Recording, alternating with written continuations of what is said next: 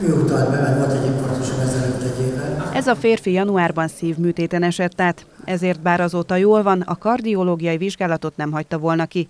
Rajta kívül még sokan ellátogattak az egészségnapra, ahol bőrgyógyászati és légzésfunkciós vizsgálat, bókakarindex és csontsűrűségmérés, testanalízis, mentálhigiénés tanácsadás, vércukor és vérnyomás mérés is volt. Amikor lehetőségem van, mindig el szoktam menni ilyen szülővizsgálatokra, egész fiatal korom óta én minden évben jártam szülővizsgálatokra, mert fontosnak tartom azt, hogy megelőzésképpen mindenféle olyan betegséget ki lehet szűrni, ami ilyen vizsgálatokkal kideríthető. Tehát az éves laborvizsgálatok, ultrahang, hasi ultrahang, tüdőszűrés, ezeket mind ilyen fontosnak tartom, nőgyógyászati szűrővizsgálatokat úgy szintén. A városrészi szűrőprogramok remek lehetőséget adnak arra, hogy a résztvevők pontos képet kapjanak egészségügyi állapotukról, tanácsokkal és további szakmai útmutatásukat követve vigyázzanak szervezetükre, hangsúlyozta Keresztúri Lászlóné, az egészségfejlesztési iroda vezetője. Előfordult már olyan, hogy sürgősségűre küldtünk be valakit, tehát a kardiológiai vizsgálatot követően.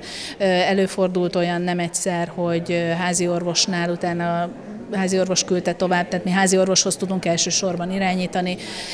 Házi orvos küldte tovább, és kiderült, hogy csontritkulása van valakinek, cukorproblémái vannak, tehát azért az egy elég, elég jól meghatározható leletet kapnak, egy elég jól behatárolható értékkel, amivel mondhatjuk azt, hogy nincsen semmi probléma, egy év múlva vagy két év múlva találkozunk egy ugyanilyen szűrővizsgálaton, de nagyon sokaknak, sokaknak kell elmondanunk azt, hogy a házi orvoshoz tessék elmenni, tessék vele megkonzultálni. Az egészségnapon a Város Egészségügyi Tanácsnoka a testösszetételmérést végeztett el. Östor Anna Mária maga is rendszeresen részt vesz szűrővizsgálatokon, és a városban élőket is erre ösztönzi. Nagyon sok vizsgálatot tudunk elvégezni, szerintem hónapokat tud nyerni valaki, hogyha egy ilyen sorozaton részt vesz nálunk.